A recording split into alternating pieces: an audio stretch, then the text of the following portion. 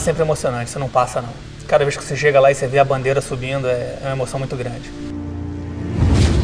A gente sempre entra para ganhar, sempre. A equipe a gente vai, tendo chance ou não tendo chance de disputar, toda prova que a gente entra, a gente tenta fazer o melhor e tentar ganhar a competição. E não vai ser diferente agora nesse ano também.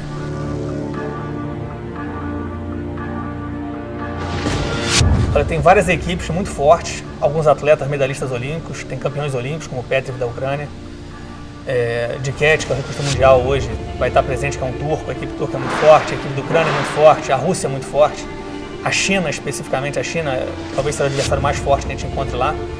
Hoje você pode contar que metade dos atletas que vão estar disputando ali são atletas que correm o circuito mundial civil também.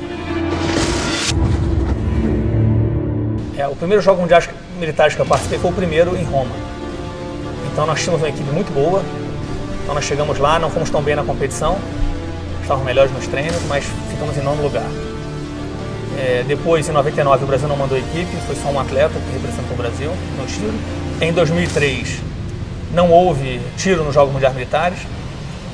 E em 2007 2011 eu participei novamente.